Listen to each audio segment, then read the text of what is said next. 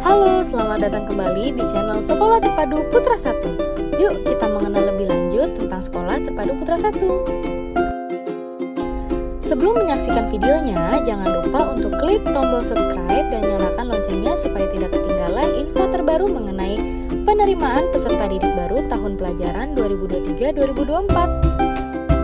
Pada video kali ini, kita akan membahas kegiatan sekolah di SD Putra 1. Pramuka bertujuan membentuk peserta didik agar memiliki karakter disiplin, sopan, mandiri, patuh pada aturan, kreatif, dan cakap dalam berpikir. Karakter tersebut dibentuk melalui berbagai kegiatan, salah satunya yaitu perkemahan pramuka yang terlaksana pada Senin, Selasa, tanggal 22 dan 23 Mei Kegiatan ini diikuti dengan antusias oleh seluruh peserta didik mulai dari kelas 1 sampai kelas 6.